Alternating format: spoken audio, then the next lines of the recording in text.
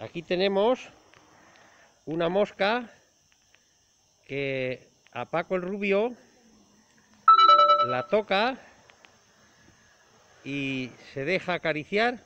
Eh, no te vayas, se ha vuelto a ir. La tenemos aquí, mirad a la mosca.